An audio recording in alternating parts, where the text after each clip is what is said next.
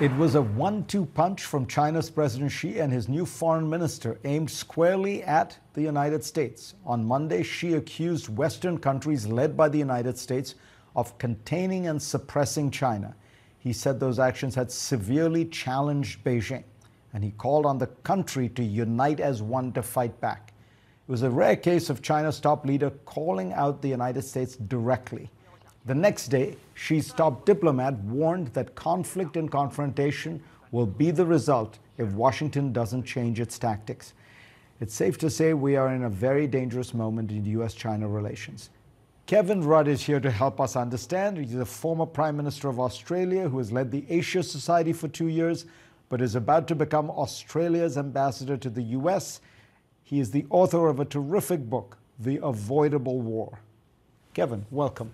Good to be with you on the program, Fareed. So when you hear Xi Jinping say what he did and his foreign minister say what he, what, what he did, uh, this is a big change for the Chinese, who have ten, tended to not, not refer to the United States by name specifically, accuse it in the way they did. What's going on?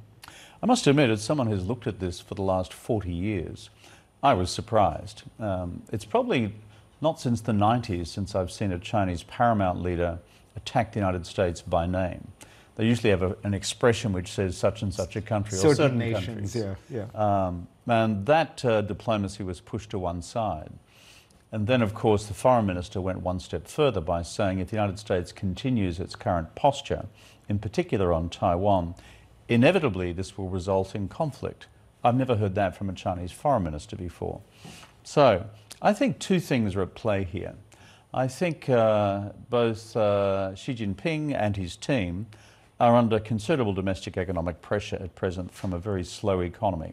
And this has been an opportunity for Xi Jinping to say, we know you're going through a hard time domestically, growth's been down, unemployment's been up, prices are a problem in certain areas, but the United States and its allies have been making life impossible for us by the pressure they've brought to bear on us domestically.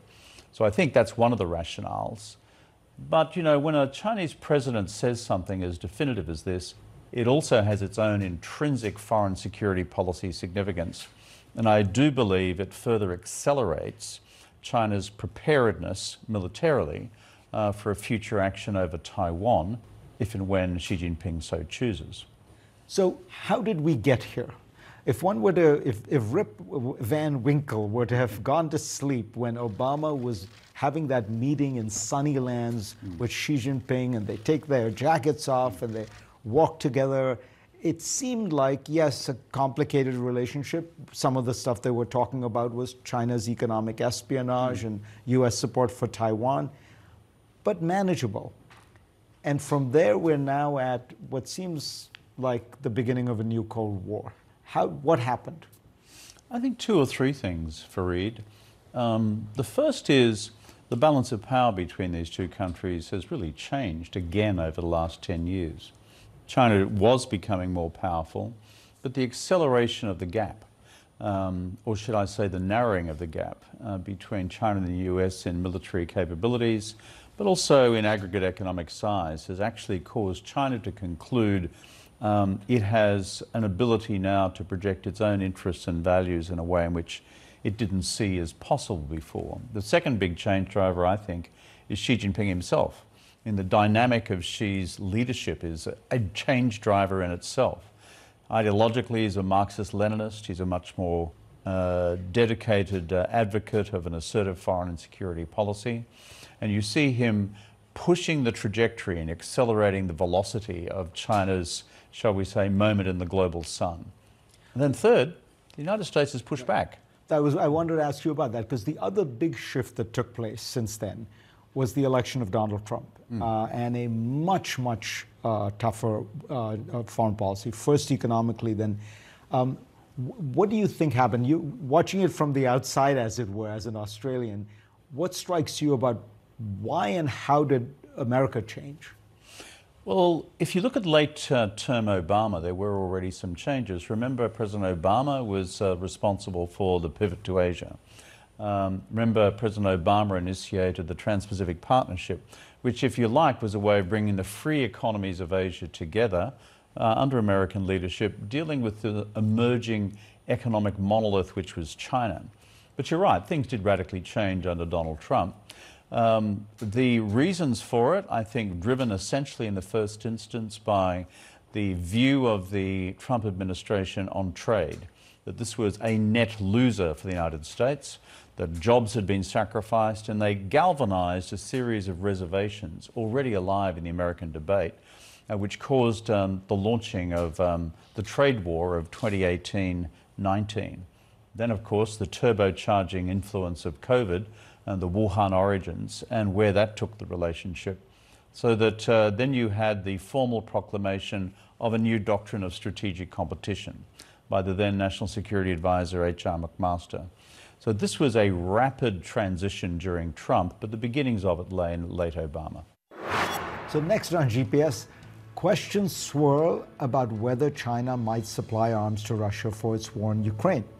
If that happened, it would change the course of the war and perhaps of world order. I will ask Kevin Rudd whether he thinks it will happen when we come back. And we are back here on GPS talking about relations between Beijing and Washington with Kevin Rudd, the former Prime Minister of Australia, soon to become Canberra's ambassador to Washington. So, Kevin, help us understand China's calculation with regard to Ukraine. Does it help China to have Russia in this war? I mean, it feels like it's a, it's a, the war is not going particularly well for Russia, but how does China view this war?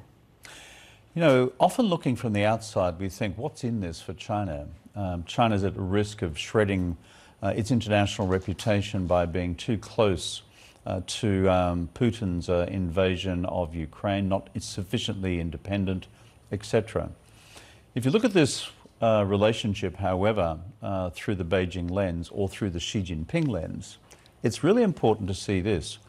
From his strategic view, having Russia on side with China for the long term is of fundamental importance.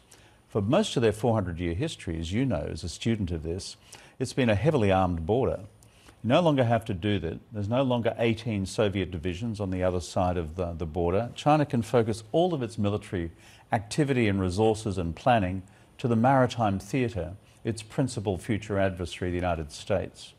I think the other thing in Xi Jinping's calculus is the Russians, from time to time, will provide rolling strategic distractions for the United States in other theatres. Syria, some time ago, now, of course, in Ukraine again uh, causing the United States to be focusing in multiple directions at once. China has one direction to focus on. And, and wouldn't you add, I mean, it also gives China Russia as a kind of junior partner, some would say a vassal state, that is, we forget, the, one of the world's largest producers of energy oil, coal, natural gas, and China needs that desperately.